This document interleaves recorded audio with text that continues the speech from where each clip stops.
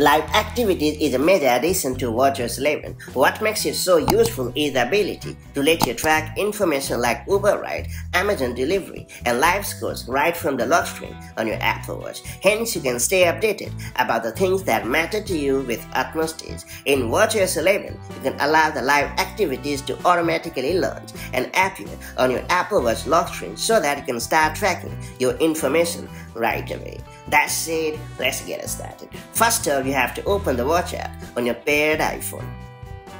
Now select General. After that, select Auto Launch and then choose Live Activities Settings. Then make sure that the toggle for Allow Live Activities is enabled.